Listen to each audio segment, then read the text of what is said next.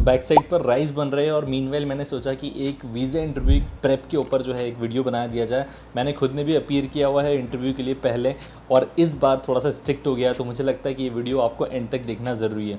हालाँकि मैं thirty question के बारे में डिस्कस करूँगा बट वो थर्टी क्वेश्चन पूरे नहीं डिस्कस करेंगे, उसमें से मेजर जो फाइव क्वेश्चन जो बहुत ज़्यादा फ्रिक्वेंटली आस्क किए जाते उन पर आज डिस्कस करने वाले कि वो क्वेश्चन क्या है और उनको आंसर कैसे करना है। सो आपका जो इंटरव्यू होने वाला है इटली स्टूडेंट वीज़ा का, वो approximately five minutes to thirty minutes कहीं भी रेंज कर सकता है। और हर एक कैंडिडेट के लिए क्वेश्चन अलग हो सकते हैं और कई कैंडिडेट्स का interview within five minutes भी हो जाता है तो ऐसा मत सोचेगा कि उसका पाँच मिनट में आपका ट्वेंटी फाइव मिनट तक क्यों हुआ। कई केसेस में वो वीज़ा ऑफिसर डिफरेंट होते तो फिर चेंजेस देखने को मिल ही जाते सो so, पहला क्वेश्चन जो आपको आ सकता है वो आ सकता है कि वाई दिस यूनिवर्सिटी और इस यूनिवर्सिटी के बारे में आपको कैसे पता चला? सो so, कैसे पता चला तो वो आप फ्रेंड्स रिलेटिव्स या जनरली ऑनलाइन वेबसाइट्स का बता सकते हो या डायरेक्टली यूनिवर्सिटी की वेबसाइट का नाम भी ले सकते हो। बट क्यों ये यूनिवर्सिटी एक बहुत बड़ा यू नो यूनिक क्वेश्चन है अपने आप में ही? क्योंकि और भी यूनिवर्सिटीज़ है उनको क्यों नहीं आपने ऑप्ट किया? इस यूनिवर्सिटी को क्यों? तो उसके पीछे जो जस्टिफिकेशन आपको देना, उसके पहले आपके पास कुछ पॉइंट्स होने चाहिए बोलने के लिए उस यूनिवर्सिटी पे। तो मेक श्योर ये क्वेश्चन को बहुत अच्छे से प्रिपेयर करके जाए तो इसमें या तो आप बोल सकते हो कि रैंकिंग इसकी काफ़ी अच्छी थी तो अपनी यूनिवर्सिटी की रैंकिंग पता कर लो। स्टैब्लिशमेंट ईयर पता कर लो कि यार हज़ार साल पुरानी यूनिवर्सिटी दो सौ साल पुरानी यूनिवर्सिटी क्योंकि ऐसी यूनिवर्सिटीज़ है इटली में जो थाउज़ेंड ईयर बैक स्टैब्लिश हुई थी। तो या फिर ये बता सकते हो कि इसके प्लेसमेंट्स काफ़ी अच्छे प्रोफेसर काफ़ी हाईली क्वालिफाइड है प्रैक्टिकल एजुकेशन है थ्योरी पर ज़्यादा फोकस ना करते हुए प्रैक्टिकल सब्जेक्ट्स पे ज़्यादा फोकस किया जाता है। तो ये सो एंड सो बहुत सारे रीजन होते हैं जिनके थ्रू आप बता सकते हो। और अगर फाइनली कोई ऑप्शन नहीं है तो आप ये भी बोल सकते हो कि यार मेरा एक ही यूनिवर्सिटी से एडमिशन है और वो यही university that's the reason I am selecting this one so इस तरीके से इसको मोल्ड करके आपको जस्टिफाई करना, तभी जाकर आप जो है इस क्वेश्चन को क्रैक कर पाओगे। अदरवाइज़ नहीं तो वीज़ा के रिजेक्शन रीजन में एक सबसे बड़ा रीज़न आजकल जो आ रहा है, वो ये आ रहा है negative outcome of your visa interview तो उसको अवॉइड करना तो ये प्रिपेयर कर लेना अच्छे से।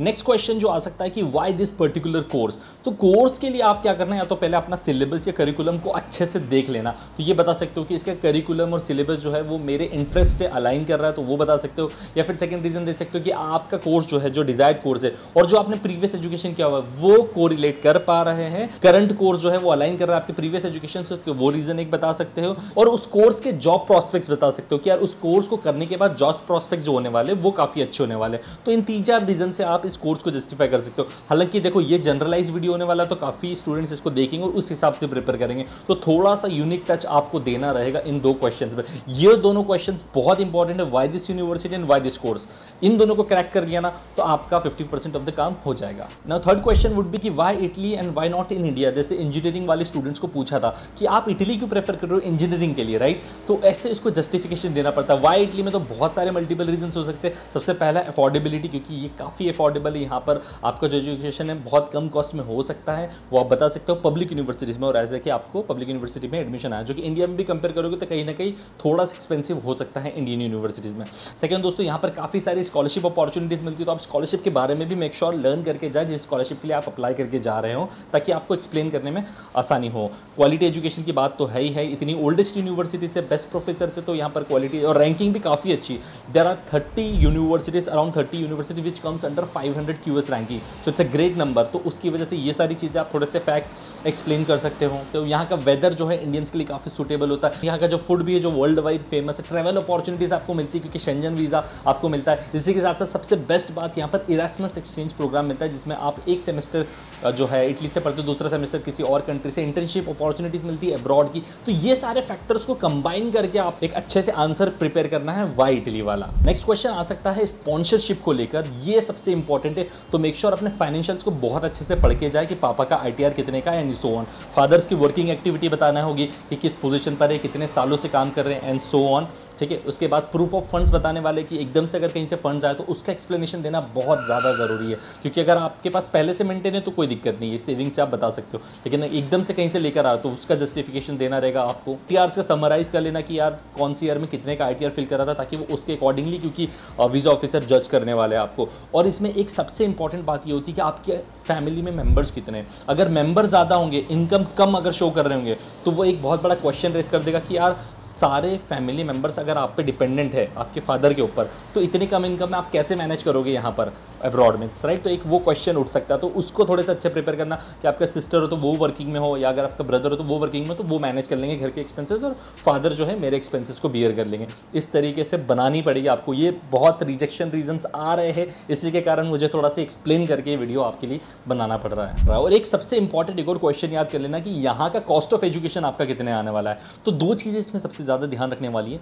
पहली ट्यूशन फ़ीस कितनी होने वाली है? तो ट्यूशन फ़ीस जो आप बता सकते हो, वो बता दो कि यार अप्रॉक्सीमेटली एवरेज लेवल पर थाउज़ेंड यूरोज होती है। साथ में जो लिविंग एक्सपेंसेस है, वो six thousand euros per year होता है, ठीक है?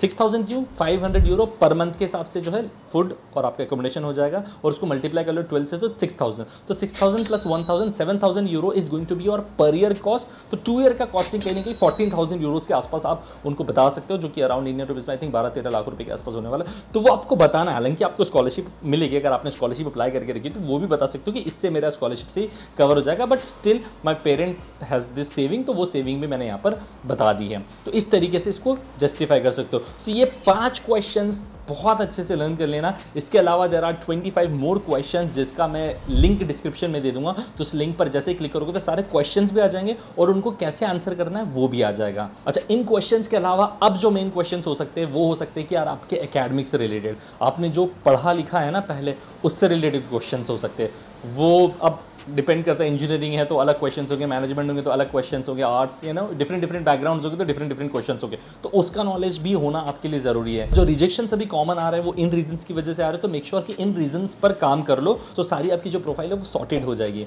और जब वीज़ा इंटरव्यू के लिए जाओ तो भगवान का नाम लेकर चले जाना। बाकी तो उनकी ही मर्ज़ी आपको वीज़ा देने की। लक का भी बहुत बड़ा खेल होता है इसमें। तो गाइज़ मेरे राइस रेडी होने वाले और ये वीडियो को यहीं समाप्त करते हैं। अगर कोई भी डाउट हो, और भी कुछ क्वेश्चन हो तो आप कॉमेंट सेक्शन में पूछ सकते हैं। डेफिनेटली आंसर करूँगा। तो मिलते हैं हम लोग next next video. Till then, bye bye, take care, and all the very best.